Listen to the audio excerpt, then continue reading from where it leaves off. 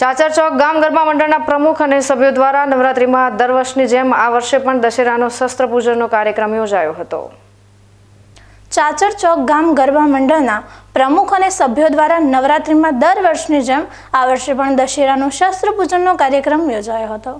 થરાદમાં ચાચર ચોક ગામ ગરબા દશેરાની રાત્રે પરંપરા મુજબ મંત્રો સાથે શસ્ત્ર પૂજનનો કાર્યક્રમ યોજવામાં આવ્યો હતો. જેમાં થરાદ નગરનો સામૂહિક શસ્ત્ર પૂજન કાર્યક્રમ યોજાયો હતો. જેમાં શ્રી રામ સેવા સમિતિના પ્રમુખ જગદીશસિંહ પરમાર, મહામંત્રી કાશીરામભાઈ પુરોહિત, રામભાઈ પરમાર સહિત રામ સમિતિના સભ્યો અને થરાદના મોટી સંખ્યામાં અગ્રણીઓ, યુવકો ઉપસ્થિત રહીને શસ્ત્ર પૂજન કરવામાં આવ્યું હતું.